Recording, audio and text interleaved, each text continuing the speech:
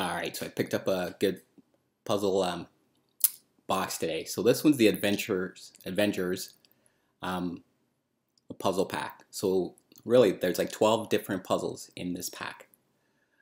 Um, so if you uh, you know you turn the box around, you look at it, you'll see that there's you know like 12 different ones. So puzzles one to 10 are kind of like a little bit smaller pieces for those that are new to doing puzzles, and um, you know, 6 to 10 are a little bit larger, and then the uh, 11 to 12 are the largest, um, you know, puzzles in the, in the box.